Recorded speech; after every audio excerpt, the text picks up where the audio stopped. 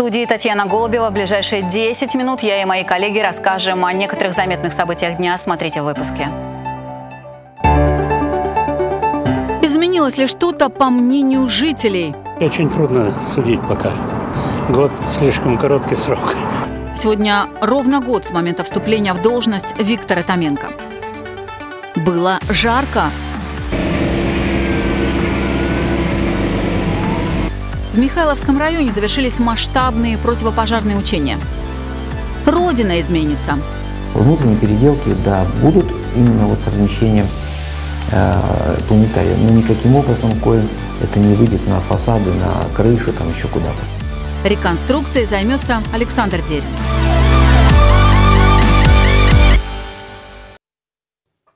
Чиновника из администрации Барнаула задержали за взятку. Речь идет о председателе Комитета по физической культуре и спорту Алексее Каретникове. Накануне эта информация появилась в нескольких изданиях. Наши неофициальные источники ее подтвердили, как и тот факт, что Каретникову стало плохо при задержании. Из СМИ известно, что операцию по задержанию проводили сотрудники Краевого ФСБ. Якобы в этот момент Алексей Каретников пытался взять деньги у предпринимателя, который занимается продажей наград. Пока правоохранители воздерживаются от каких-либо официальных комментариев, в пресс-службе мэрии нашим коллегам из издательства «Комсомольская правда» Барнаул рассказали, что Каретников сейчас находится на больничном, о других подробностях не сообщается. Напомним, Алексей Каретников занимает пост председателя комитета по физической культуре и спорта 8 лет, любит играть в футбол и настольный теннис. А тем временем бывший управ делами Александра Карлина отпущен под домашний арест. Накануне, как сообщают краевые СМИ, стало известно, что суд смягчил Алексею Белобородову меру пресечения из-за жалоб на здоровье. Напомним, последние 9 месяцев он провел в СИЗО. Бывшего чиновника обвиняют в получении многомиллионных взяток и растрате бюджетных средств. Ему грозит до 15 лет лишения свободы. Под домашним арестом Белобородов будет находиться до 24 июня. В Михайловском районе завершились крупномасштабные противопожарные учения. На практике со степными пожарами боролись несколько десятков сотрудников экстренных служб России и Казахстана. Согласно сценарию, пожар возник на приграничной территории Михайловского района, близ поселка Малиновое озеро. Участники должны были отсечь огонь от лесных массивов, не дав пожару превратиться из низового в смертельно опасный верховой. По словам организаторов, в приграничных степных районах пожары происходят часто. Потому подобные совместные учения здесь проводят каждый год.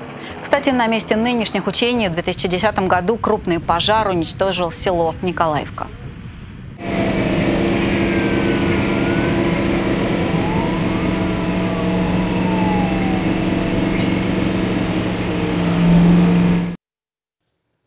Наш корреспондент Илья Кочетков накануне вернулся из Михайловского района. Своими впечатлениями он поделится в вечернем выпуске. А мы продолжим. Сегодня ровно год с момента вступления в должность губернатора края Виктора Томенко. Мы не будем давать оценку его работе. За этот год это уже сделали другие. А мы вышли в народ и спросили у жителей краевой столицы, что, по их мнению, изменилось с приходом нового губернатора, если, конечно, изменилось, и чего они все еще ждут от него. Очень трудно судить пока. Год слишком короткий срок. Поэтому не могу твердо сказать, что, допустим, лучше, хуже. Думаю, да, изменения есть небольшие, но есть. Например? Например, ну, ремонт дороги. В каких местах, не знаю, но ремонтируют. Мне кажется, вообще ничего не изменилось. Ну, просто мы не замечаем, нам как-то политика не очень важна, да. Ну, кардинальных, да, таких изменений нет. Может быть, он идет к этому.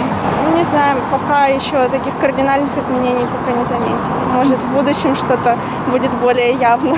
Хотелось бы, чтобы больше уделяли внимание э, вот как-то экологии, может быть. Да, конечно, изменилось.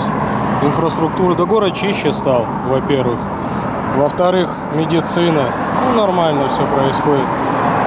Так, что еще? Вот мне что понравилось э, по сельхозхозяйству вам нормально все, и деньги вкладывает, фермы развиваются. Ну, в общем, нормально. Ну, у нас много предприятий стоят, много безработицы.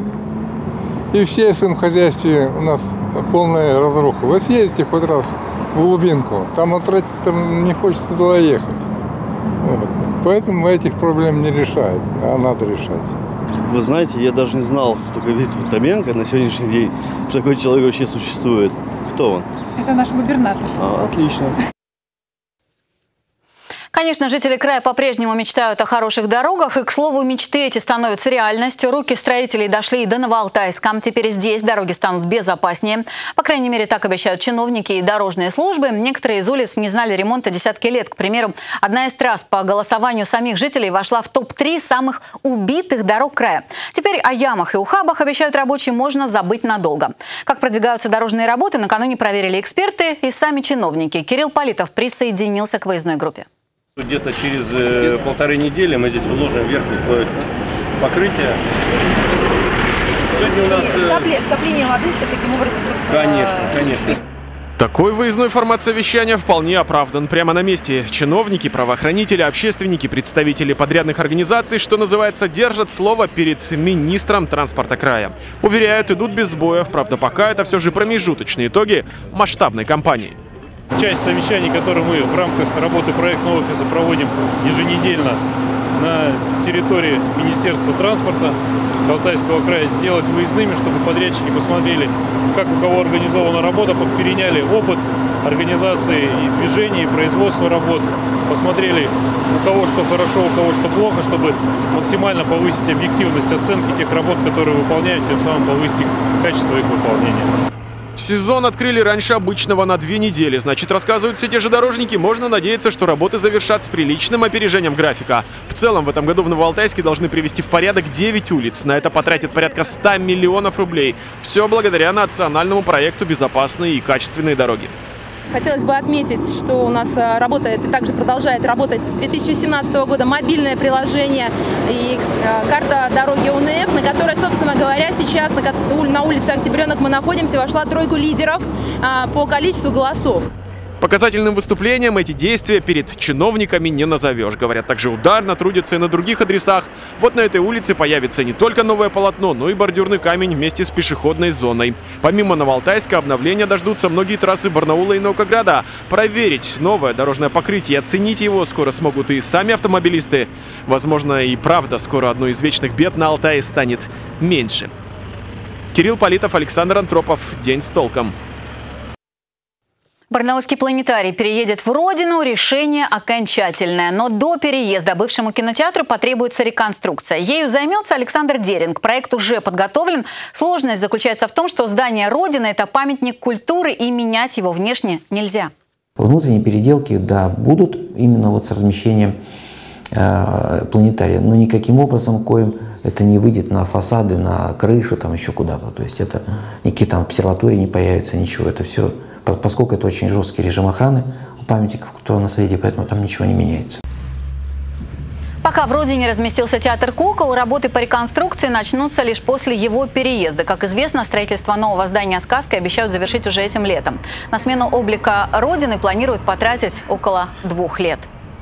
Как будет выглядеть кинотеатр после реконструкции, смотрите в вечернем выпуске. А, я продолжу, потому что у нас еще есть о чем рассказать и есть полезная информация для вас. Летом многие барнаульцы оставляют пыльный город и уезжают на дачи. Часто именно в дачный сезон, когда в квартирах никого нет, активизируются кражи со взломом. Причем чаще всего взламывают окна первых и вторых этажей. Можно ли этого избежать, расскажем далее.